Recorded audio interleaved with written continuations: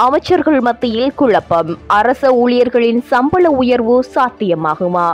கை தமிழின் செய்தி அறிக்கை. அடுத்த மாத வரவு செலவு திட்டத்தின் மூலம் அரசு ஊழியர்களின் சம்பளம் அதிகரிக்கப்படும் என்ற ஜனாதிபதி ரணில் விக்ரமசிங்கவின் உறுதிமொழி தொடர்பில் ஐக்கிய மக்கள் சக்தி சந்தேகம் வெளியிட்டுள்ளது.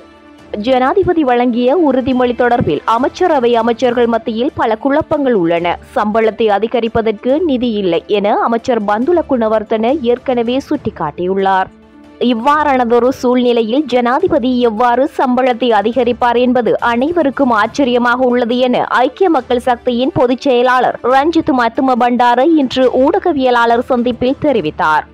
சம்பளத்தை எவ்வாறு அதிகரிக்கப் போகிறார்? எவ்வளவு தொகையிலிருந்து அதிகரிக்கப் போகிறார் என்பதை ஜனாதிபதி தெரிவிக்க வேண்டும் என்றும் அவர் மேலும் கூறினார்.